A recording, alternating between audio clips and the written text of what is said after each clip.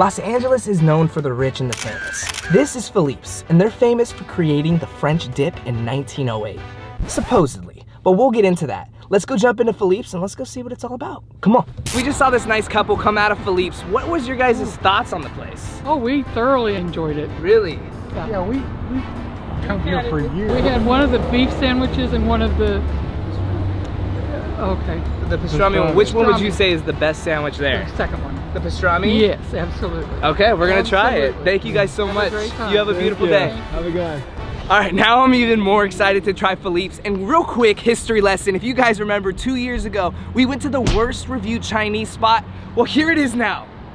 You guys are constantly telling me, go do more one stars. This is what happened during the pandemic. A lot of them shut down, so I haven't been able to do them. If you guys know any, put them in the comments. Let's go try this place. All right, let's do this.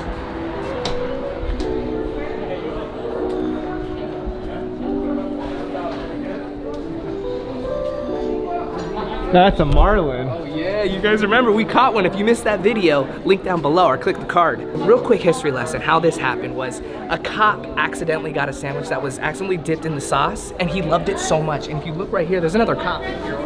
What if that's the original? Then he's uh, 100 years old. And we're gonna get whatever's in that purple jar right there. Beets.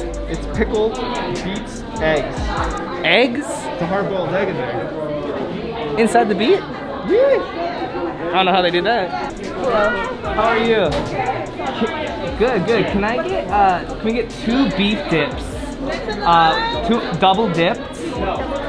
And then can we get a, two two pastramis? You want those ones double dipped? Okay, yeah, sure.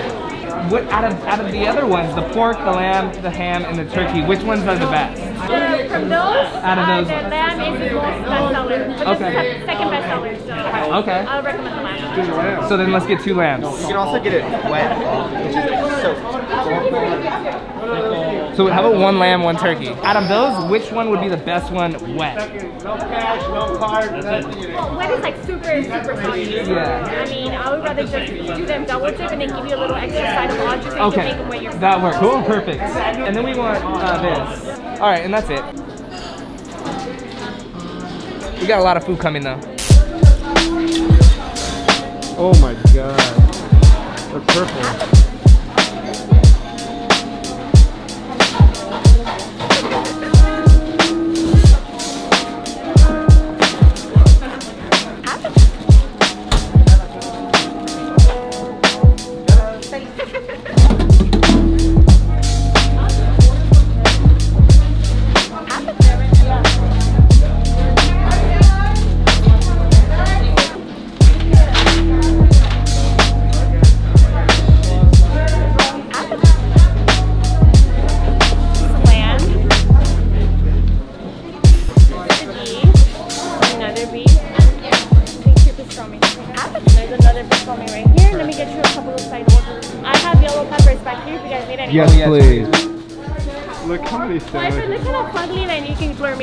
Me out. No, you look good. Thank you There you go. You guys Thank have a good day. you. Enjoy. Thank you. So we have all of our sandwiches right in front of us right now, and good golly, they look good. Like this is literally the original French dip, and if you know Jake and I at all, we love these damn things. Ooh, So good. These are all double dipped, which means they were placed in the bread was placed inside of the juice twice. So it's not like a normal French dip that you see that where you get the sauce, all the juice, and then you dip it each time you eat it. It was already pre-dipped for us, which is pretty cool. And it's crazy. The, the people, the, the lady that helped us was amazing. They call her a carver because they carve the meat right in front of you and make the sandwich at the same time, which is crazy. Let's just try it how it is. Mm. Oh my god. Oh my god, the sogginess of the bread. The sogginess of the bread is where all the flavor is, and you could even go even more soggy than this. I think this is perfect, but I think you can go even more, and it's called wet. It's where the whole thing is just soggy, and you have to eat it now. This is not something that you like can take home and eat it later unless you get it completely dry, but then you have no flavor. And it's very salty and rich, but mm-hmm. it's so good. Supposedly they make like 500 gallons of this a week or something crazy like that. Really? I don't know. Probably, probably more five gallons, but they're they're spicy. What is it? Spicy mustard. Spicy mustard. Let me give it a go. Try it out. I want to, I want to get a Because they're too. known for it, you know. She said be careful though, because it is spicy. Oh.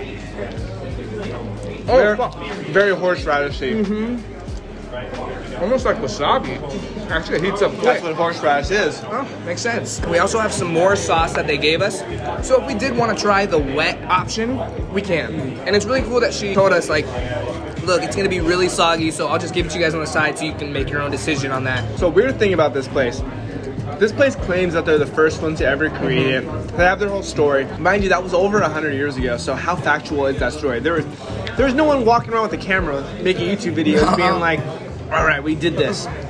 So there's another restaurant it's down the street. It's called Cole's, and they also claim that they're the first person to ever create it. So someone's lying. Someone's lying, but the interesting part about it is they both started in 1908. So one or the other had to have seen someone doing something right in the popularity and they snagged the idea. We're not sure. No one's really sure who did it because no one's alive still that was around there. It could also be the police officer. What if the police officer came here, ate it, and then went to the other place and was like, "Yo, can you make it this way?" right? And then and he was like, "This is so good," and everyone else started doing it. And he was just like, "Hey, this is a thing." So we don't really know if they're actual first, because these other guys might be the first. But hey, if you want us to go to that place, we can try those too. Before we jump into these other sandwiches, I gotta try one of these purple eggs. I don't know if I want to. to I'm scared, man. Pickle. I mean, how is it even purple? I don't understand. Give it. Let's give it a go. So check this out. This literally looks like Barney's balls. That's what it looks like. Didn't it?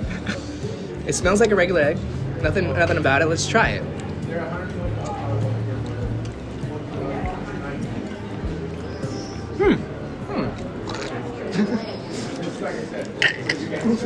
It's a little interesting. I don't know if I really like it. Maybe you're supposed to dip it in the sauce. I don't know.